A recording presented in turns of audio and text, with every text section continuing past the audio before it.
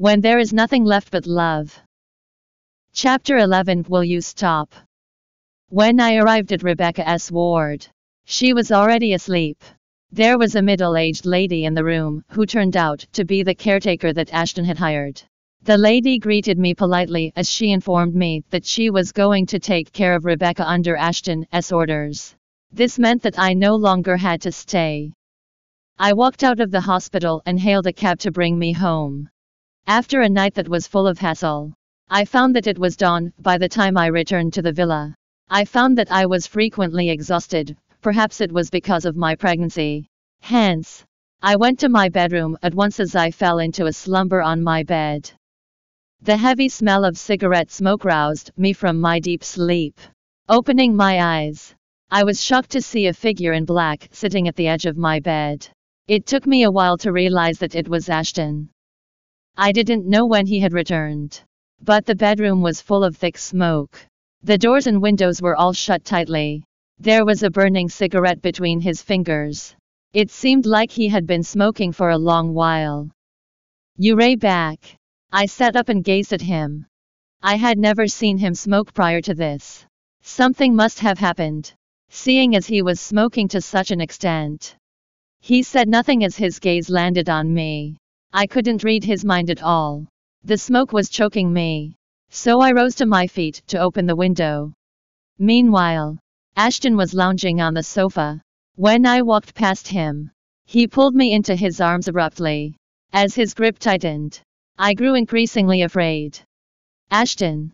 I didn't know the reason behind his sudden action. But I couldn't stand the stench of the smoke. Thus, I struggled while he remained unfazed. Calming down, I looked back at him. You ray drunk. I didn't realize it earlier. But now that I was in his arms, I could smell the alcohol on his breath. You don't hate me.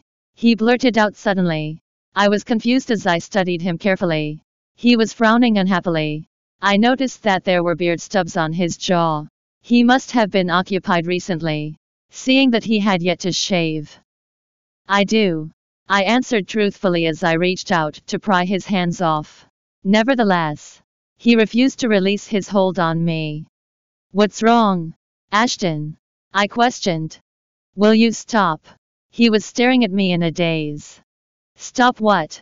I inquired quizzically. He stopped talking immediately.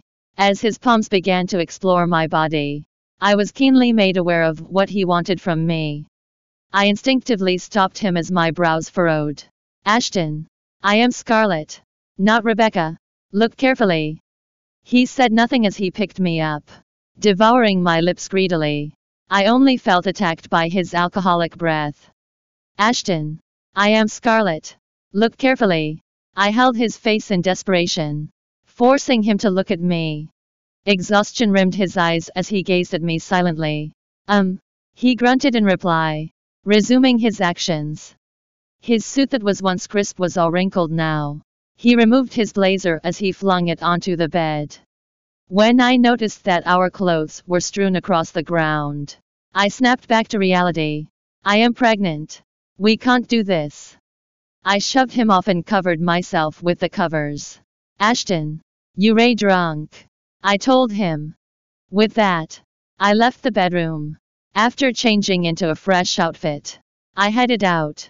I was afraid that I wouldn't be able to keep the child if I remained in the house. Welcome to download Joyread app to read more chapters of When There Is Nothing Left But Love novel online.